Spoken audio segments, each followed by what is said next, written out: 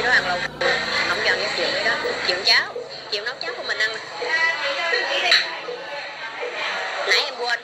Nãy quên kêu chị mừ uh, mua ấy chà bông xuống bỏ vô thêm dạ. tin là cái gì? Lý chị nha bà nội nè ơi. Thấy không con? Bữa nay bà nội khỏe rồi đó. Nhân nào? Nhân chị tám ơi má bệnh. Tám ơi chuyển về thanh. Mấy hai bữa gài rồi mà nói bệnh nằm ngã tư mười mấy ngày bữa nay chuyển xuống về thanh gà được ba ngày. Má ăn muỗng nữa đi má má má ăn cho nhân nó coi má nhân nó đang coi má ăn nè má. Ăn giỏi má. Trời ơi hay quá bà thấy bà nội nhân nọ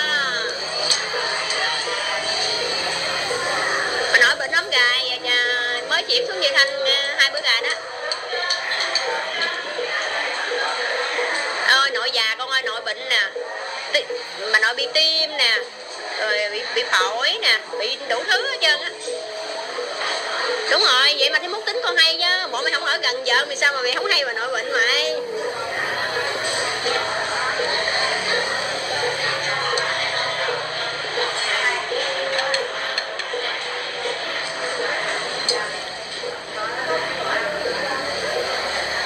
nhận không hay? Nó không, nó không hay mà nội bệnh. Chị mấy chị nữa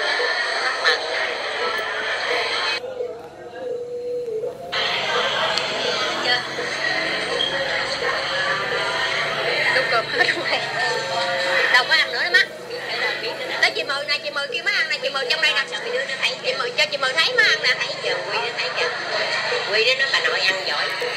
Đồ má đi du lịch đồ con ai du lịch ở đâu vậy? Mày đi du lịch sao mày không rủ tao đi chứ nhân